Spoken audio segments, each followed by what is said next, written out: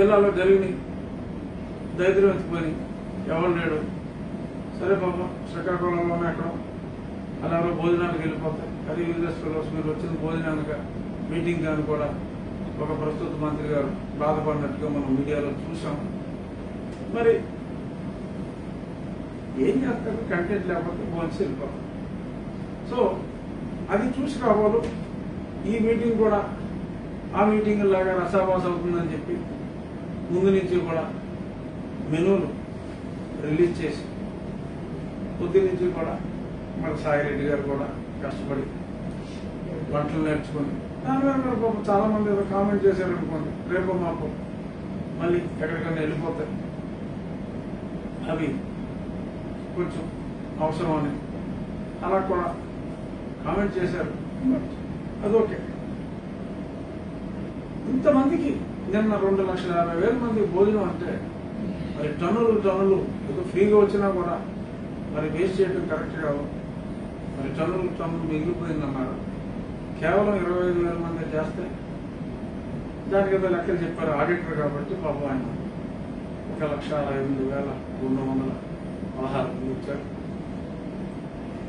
ఇన్ని ప్లేట్లు ఖర్చు అయ్యి నేను డెబ్బై వేల ప్లేట్లు అనుకుంటే ఏకంగా ఒక లక్ష పన్నెండు వేల నాలుగు వందల పదకొండు ప్లేట్లు ఖర్చు అని అన్నారు. వాళ్ళ అకౌంట్ల లెక్కలు లాంటివి ఆ లెక్కలు కూడా. నేను కనుక్కున్నా నిన్న చూశాం. మరో పక్క. మరి ఎంతో ప్రతిభావంతంగా. ఎందుకంటే ఎదుటే వాళ్ళు ఉన్న మంత్రుల్లో అత్యద్భుతంగా మాట్లాడే మంత్రి డెఫినెట్గా ఆరోగ్య శాఖ మంత్రి గారు రజనీ గారు. మరి అంత రజనీ గారు మాట్లాడుతూ ఉంటే ఈ బార్ నుంచి ఆ బారు ఖాళీ కూర్చేది తప్ప ఇంకేమీ లేని పరిస్థితి. This is the ground reality Rajini గారు మాట్లాడినా ప్రముఖ నటీమణి రోజా గారు మాట్లాడినా సరే ఈ మొగలు తీసేయండి. ఇద్దరు అట్రాక్షన్ బట్ వారి మీటింగ్ మరి ఎవరో లేకుండా నీట్గా ఫోన్ చేసి ఎవరు కాదు ఏదో పెళ్ళికి వచ్చినట్టుగా ఫోన్ చేసి వెళ్ళిపోయారు. అసలు ఆ భోజనం కూడా అంత పబ్లిసిటీ లేకపోతే ఏమయ్యేది? ఎమ్మెల్యేల కంటే ముఖ్యమంత్రి గారు చెప్పారు. మీకు ఎవరికి పాస్పోర్ట్లు రాలేదు నేను మొత్తం అంతా లిస్ట్ తెప్పించాను. డిస్ట్రిక్షన్లో పాస్ అయింది నేను ఒక్కడనే అని చెప్పారు. చెప్పారు ముఖ్యమంత్రి గారు. సో కాబట్టి డిస్టింక్షన్ కుర్రాడు మీటింగ్ పెడితే విపరీతంగా జనం వచ్చేస్తారని చెప్పి నేను భావించి వెళ్దాం అనుకున్నా. కాకపోతే నాకు ఆంధ్రాకి వేసా లేదు కనుక. నేను వెళ్దాం అనుకున్నా సభ్యులు కదా నాకు. అయిన పిలిచి తాను ఇవ్వకపోయినా ఆఖరి వరుసలో అయినా సరే ఉంచోవాలన్న కోరిక ఏదో మా ప్లేనరీ మళ్ళీ మళ్ళీ ప్లేనరీ ఎప్పుడు పెడతారో పెడతారో పెట్టరో తెలియదు మరి అప్పుడు నన్ను పార్టీలో ఉంచుతారో లేదో కూడా తెలియదు పార్టీ సభ్యుడు కాకుండా ప్లేనరీగా వెళ్తాం సరే. ఉన్నప్పుడే ఒకసారి తనివి తీరా జగన్మోహన్ రెడ్డి గారిని ఆఖరిసారిగా విజయం గారిని ఈ ప్లేనరీలో అలా చూద్దామని చెప్పి ఎన్నో కోరికలతో వెళ్దాం అనుకున్నా ముందు. సరే ఈ నన్ను మా ఊరే రానలేదు కాబట్టి అక్కడ చాలా కాండలన్నీ. రాయలపై భోగి దహన కాండలు ఈ అరెస్టు ఈ ఇచ్చాపురం బార్డర్లు పోలీస్ స్టేషన్లో వస్తానని ఆ బార్డర్ మెడ్రాస్ నుంచి వస్తానని ఈ బార్డర్ అన్ని బార్డర్లో పోసేసి చెక్ చేసి ఇలా రకరకాలుగా చేశారు కాబట్టి ఇంకా దీనికి వెళ్ళే సాహసం చేయలేకపోయా? కాకపోతే వెళ్ళాలన్న కోరిక ఉంటుంది కాబట్టి ఈ టీవీలో చూసి గ్యారంటీగా అంత భోజనం పెట్టారు కాబట్టి రెండు లక్షల యాభై వేల మంది వచ్చేసి ఉంటారని నాకు కూడా ఉంటారు కదా వేగులు వేగులు ఉంటారు సీతారామన్ నేరు గారు ముఖ్యమంత్రికి ఉన్నట్టు మాకు మా వేగులు మాకు ఉంటారు. మా వేగుల ఇన్ఫర్మేషన్ ఇరవై మూడు వేల చిల్లర ఫోన్ చేశారు. పది వేలు కాస్త తగ్గింది. కాకపోతే వాళ్ళు కూడా ఒకేసారి విజయమ్మ గారి స్పీచ్ అయిన వెంటనే ఆ భోజనాలు మీద దూపినప్పుడు మళ్ళీ అక్కడ ఒత్తిడి అయింది. ఇబ్బంది పడ్డారు. లంచ్ అయ్యాక వెళ్ళిపోయారు. ఒకే ఒకటి పాపం సాక్షులు ఎవరో ఫోటో చూశాను.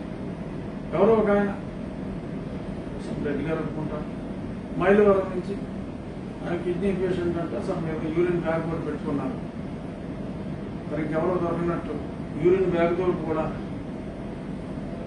ఈ సభకు వచ్చేసారని చెప్పి పబ్లిసిటీ చేసుకున్నాను.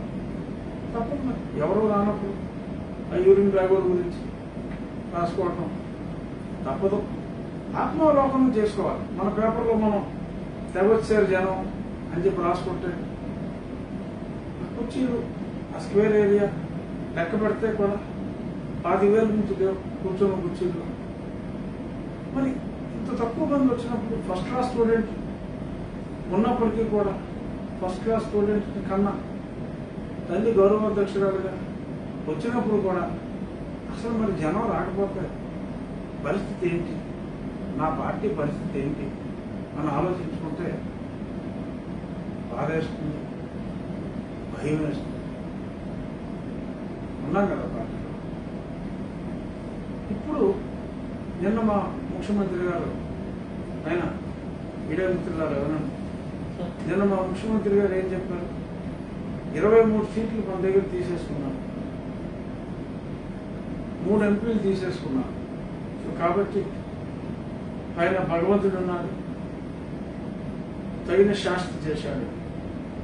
అని వారికి ఆ ఇరవై ముగ్గురే ఎమ్మెల్యే ముగ్గురు ఎంపీలు ఇచ్చారని చెప్పి చెప్పారు. డెఫినెట్గా నిజంగా. వండర్ఫుల్ అనాలిసిస్ మా ముఖ్యమంత్రి గారికి భగవంతుడికి కూడా డెఫినెట్గా సంబంధం ఉంది అని ఆయన చెప్పిన మాట అనిపిస్తుంది. బట్ ఆ లాజిక్కే కరెక్ట్ అయితే మళ్ళీ బాధ అనిపిస్తుంది భయం ఏమిటంటే ఇప్పుడు మా పార్టీ ప్రస్తుత ప్రతిపక్ష పార్టీ నుంచి నలుగురు ఎమ్మెల్యేలు లాగేసింది. అంటే అంటే నాలుగు వచ్చే ఎలక్షన్లో మనం నాలుగే ఉంటాయని ముఖ్యమంత్రి గారు చెప్పాలని చెప్పారా? మరి అలా అయితే అసలు ఎంపీలు ఎవరో లేకపోతే నెక్స్ట్ టైం మా పార్టీకి లోక్సభలో అంటే రాజ్యసభలో అయితే ఉన్నారు. లోక్సభలో ఎవరో లేకపోతే మరి ఏమిటి పరిస్థితి? సో అందుకని మరి మూడు వీలు కాకపోతే కనీసం ఒక్కడైనా ఆ ఉన్న ముగ్గురులో మా వాళ్ళు లాగేస్తే నెక్స్ట్ ఒకటైనా మిగులుతుందేమో మాకని చెప్పి. మా అధ్యక్షులు వారికి సూచన. ఎందుకంటే నన్ను అక్కడ రానుండదు కాబట్టి పార్టీ ఏం చేసింది? ప్రభుత్వం ఏం చేస్తుంది ప్రజలకు అనేది మాట్లాడుతున్నారు. అవును. కానీ అది ఎక్కడ లేకుండా ఒక మానసిక వైద్యశాల అవసరం రాష్ట్రంలో ఎకరాల్లో పెడదాం పెడితే జాయిన్ చేద్దాం అనేది కూడా మీ పార్టీ సభ్యులు అర్థం ఎమ్మెల్యే మాజీ మంత్రి. ఎవరన్నారు? నేను చూడలా. కొద్దిసేపు నేను ఎవరు బయట. మానసిక తీవ్ర కార్యాలయం అవసరం అంటారు అక్కడ వైద్య కార్యాలయం ఓ మానసిక వైద్యశాల అవసరం ఉందన్నారా ఉందని అంటున్నారు కొంతమంది తెలుగుదేశం వల్ల మీ పార్టీ సభ్యుడు అంటుండదు మా పార్టీ వల్ల ఆ. కొడాల నాని గారు మీ పార్టీ ఎమ్మెల్యే సార్ మాజీ మంత్రి. నాని గారు అన్నారా ఆ, కొంచెం క్లియర్గా చెప్పు నేను ఇస్తాను మానసిక వైద్యశాల అవసరం ఒక ఐదు ఎకరాల అవసరం అయితే దానికి మేము ఏర్పాటు చేస్తాము. రాష్ట్రంలో దాని అవసరం ఉంది. కొంతమంది అందులో పెట్టాల్సిన అవసరం ఉంటుందని మీ పార్టీ సభ్యుడు అన్నాడు ఎమ్మెల్యే కొడాలి ఎట్లా చూస్తారు దాన్ని ఎవరికి అవసరం? ఏం అసలు ఇది చాలా సీరియస్గా ఆలోచించవలసిన విషయం. నిర్గంధపోయే విషయం. కొడాల గారు నిర్మోహమాటం నిర్మోహమాట అంటే మొహమాటం లేని వ్యక్తి అని నాకు తెలుసు. అది ఏది మాట్లాడినా సూటిగా మాట్లాడతారు. మరి ఇప్పుడు అమరావతిలో అమరావతిలోనైనా? మరి అమరావతిలో మానసిక వైద్యశాల అవసరం ఉంది అని అన్నారంటే మరి ఆలోచించాలి. మరి నేను అంత ధైర్యంగా మానసిక వైద్యశాల కావాలని చెప్పి మరి నాని గారు అంట- అన్నారంటే జనరల్గా నాని గారు ఏం మాట్లాడినా కూడా నేను ఖండించను. ఎందుకంటే అది వారంటే గౌరవం అనుకోవచ్చు. లేదు చెప్పాలంటే భయం అనుకోవచ్చు ఎలాగైనా అనుకోవచ్చు. నేను నాన్నగారి విషయంలో ఎందుకంటే ఆయన దైవ భక్తుడు నేను నమ్మే వెంకటేశ్వర స్వామి భక్తుడు ఆయన. ఎప్పుడు కూడా కటింగ్ చేయించుకోకుండా సంవత్సరానికైనా రెండేళ్ళకైనా తలనీలాలు ఇస్తారు. సో కాబట్టి వారంటే నాకు అత్యంత గౌరవం. కానీ ఆయన అక్కడ పిచ్చి హాస్పిటల్ ఒకటి కట్టాలి అన్న దాంతో డెఫినెట్గా నేను ఏకీపిస్తాను మరి తొందరగా ఎన్నాళ్ళు కంప్లీట్ చేస్తారో కూడా చెప్పారా? ఎలక్షన్ ముందే రెడీ చేస్తారా? అన్నారు. మంచిది. నాని గారు మీ ఈ విషయంలో మా నాని గారితో నేను పూర్తిగా ఏకీభవిస్తాను. మానసిక వైద్యశాల అవసరం. మీరు ఎంతో స్టడీ చేసి కానీ అలా మాట్లాడుండ్రు డెఫినెట్గా